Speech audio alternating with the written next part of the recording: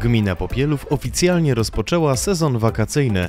Rok szkolny zakończony, kąpielisko w Nowych Siołkowicach otwarte, a pogoda iście letnia. Byliśmy już to kilka razy. Ja jestem pierwszy raz. Okej, I jak wam się podoba? No bardzo fajnie.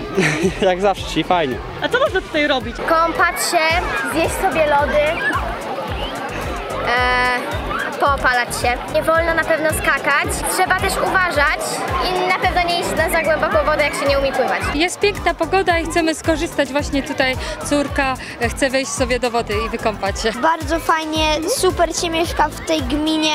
Najlepsze jest to, że dzieci też tak y, jakoś mega dużo nie chlapią, tylko tak troszkę. Zabawa nad wodą wiąże się również z odpowiedzialnością.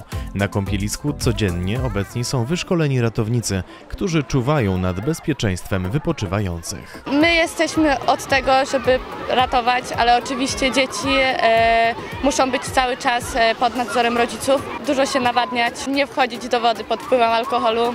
Oprócz ochłody w wodzie dla dzieci zostały przygotowane liczne atrakcje oraz udogodnienia. Dla spragnionych zabawy, naleśników czy wody każdy może znaleźć coś dla siebie. Teraz akurat rzucamy plackami, naleśnikami na patelnię.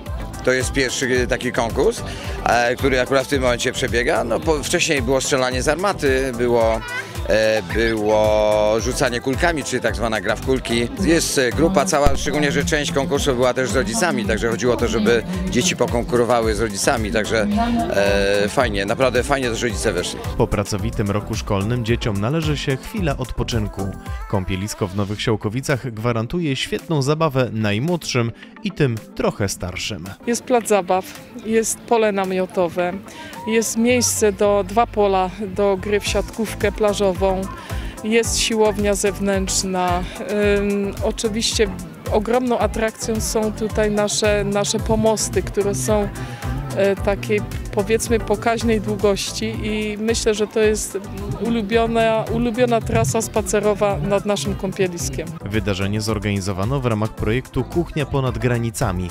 Projekt realizowany przez gminę Popielów, a współfinansowany ze środków Europejskiego Funduszu Rozwoju Regionalnego w ramach programu Interreg 5A Republika Czeska Polska oraz ze środków budżetu państwa. Przekraczamy granice. Projekt jest realizowany razem z partnerem z Republiki Czeskiej z miasta Domasow Ustenberka.